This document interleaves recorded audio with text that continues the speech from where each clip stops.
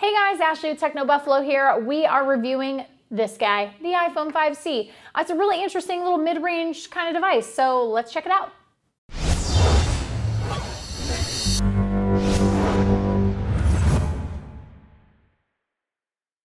So I know Jon tends to do reviews in a very specific way. I kind of tend to go a little bit different with mine and real world use case it. So I'm gonna tell you guys a little bit about this phone and why uh, I think it's an interesting addition to the Apple lineup.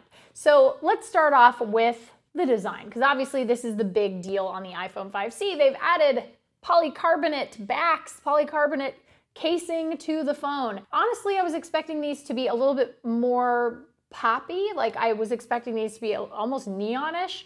Uh, I'm kind of disappointed that it ended up not going that way. These are a little bit more muted than I had originally thought. Uh, I'm not a huge fan, oddly enough. Uh, before I saw the cases with the holes in them, the Connect 4 cases. Uh, now, now that I've seen them on the devices, again, they're a little bit more muted than I would have liked, so I don't know if I like that combination. Uh, but generally speaking, as to the polycarbonate itself, um, they really made a great choice because obviously the iPhone 5 was prone to scuffs. Uh, that is no longer an issue with this. You don't feel worried about scratching up your device. You don't feel concerned about, you know, dropping it and getting a big dent. Uh, this is definitely a really nice design by Apple, and it's certainly not the first time we've seen a beautiful, colorful polycarbonate phone. Cough, Nokia, Lumia's. Um, but again, those are great devices, and their build quality is really lovely. So at the end of the day, I think that this was a really good choice by Apple, especially in offering a lower priced iPhone or a less expensive iPhone. But I certainly wouldn't, by any stretch of the word, call it cheap because it doesn't feel cheap in the hand.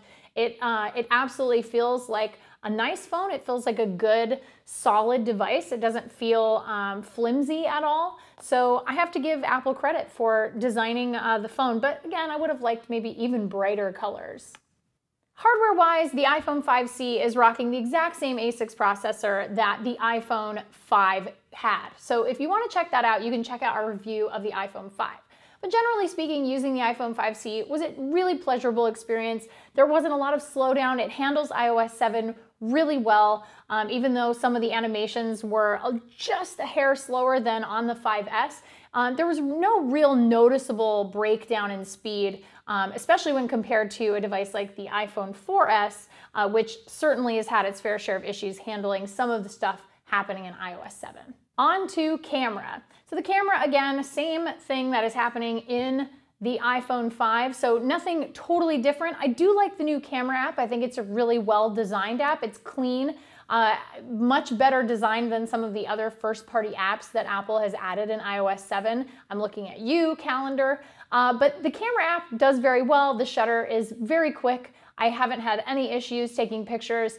Um, again, it does every now and again does suffer in low light. It depends on the setting. Uh, you do tend to get that washed out look uh, because it doesn't have the true tone flash like the iPhone 5S does if you're shooting in low light. But generally speaking, uh, I would say on par with any uh, phone in its class. So an HTC One Mini or anything that's around $99 on contract here in the States. In terms of battery life, you're looking at a day's use. I tend to be a relatively, I would say, moderate user. I'm not a power user by any means. I use the phone to listen to podcasts on my way into work and home. I also use it to check email and do other things throughout the day, but I'm not a power user by any means. I'm not, you know, jamming through Infinity Blade 3 for four hours on my phone during the day. I will say that with iOS 7, this particular uh, setup uh, has suffered slightly in terms of battery life. I know that the iPhone 5 has kind of seen the same battery life hit that we've seen uh, here on the 5C. So you're probably looking at maybe 10% less using iOS 7 uh, than you would see before. But generally speaking, it's not that much time, especially if you're a light to moderate user. Overall, the iPhone 5C is a great device for anybody looking to pick up an iPhone that isn't the most current generation of iPhone. If you don't want a flagship or you don't feel it's necessary, or if you don't have the money, the iPhone 5C is a great choice if you like iOS and you've been in the Apple ecosystem for a while. With that being said, we gave it a solid 8.